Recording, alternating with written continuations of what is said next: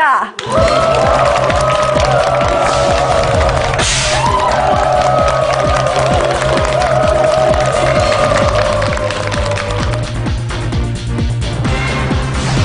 오늘의 시청자 문제 다음 중 맞는 말은 1번 결단나다 2번 결단나다 정답을 아시는 분은 오늘 밤 11시까지 우리말 교육이 누리집에서 참여하시면 됩니다 얘들아, 선생님 잘 지켜봤니? 선생님 오늘 정말 아쉬웠지만 다음번에 도전에서는 꼭 달인 될게. 너희들도 멋진 중학생 돼서 다시 만나자. 패자부활전에서는 달인이 되도록 노력해 보겠습니다. 그리고 저희 통영 고성 방송도 많이 시청해 주세요. 우리말로 이름을 지어주고 싶어서 금줄에 들어가는 생솔까지 솔이라는 이름을 떠올려서 짓게 됐고 좀 움직이는 느낌을 주기 위해서 결, 결이라는 이름을 지었습니다. 때 맞춰 손님이 오면 네. 발이 길다고 하거든요. 희동형이 치이다고 잔잔한 풀들이 나오는 봄이라 생각을 해서 그렇게 적었습니다. 마음을 편하게 아는 것은 다 맞추자! 멋진 아빠의 참모습 달인으로 보이겠다 오늘의 우승자 이상종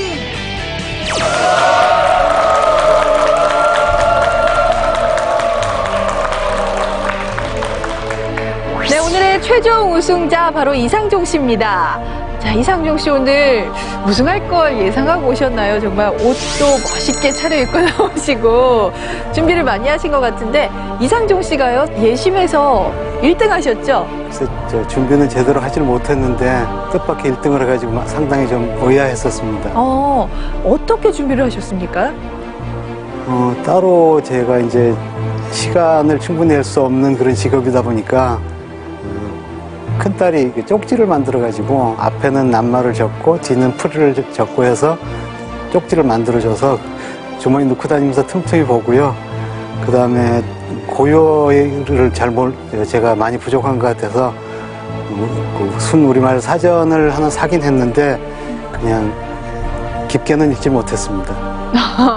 탄탄한 기본기 위에 또 따님이 도와주셔서 준비까지 하셨는데 기대가 됩니다. 이성종 씨가 오늘 우리말 달인, 제 31대 우리말 달인에 도전을 하게 될 텐데요. 달인에 오르게 되면요. 3,210만 원의 상금도 획득할 수 있게 됩니다. 자, 그럼 이- 이상종 씨가 풀게 될 문제판 보여주시죠.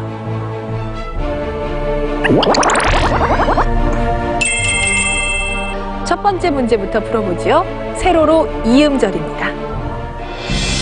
이것은 한 끝에서 다른 한 끝 까지의 거리를 이르는 고유어입니다.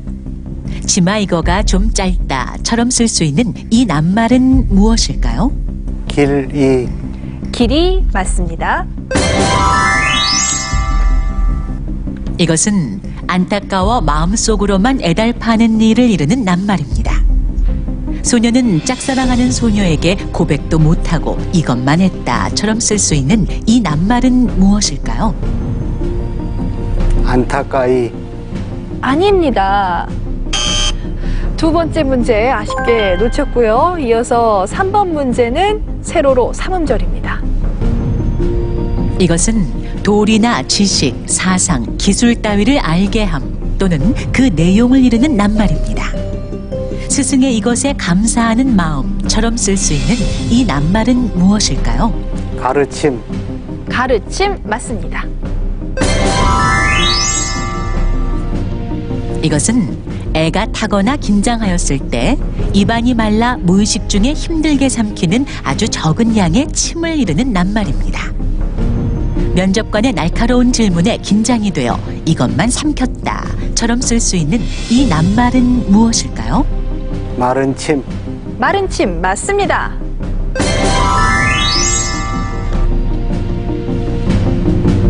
이것은 산의 맨 위를 이르는 낱말입니다.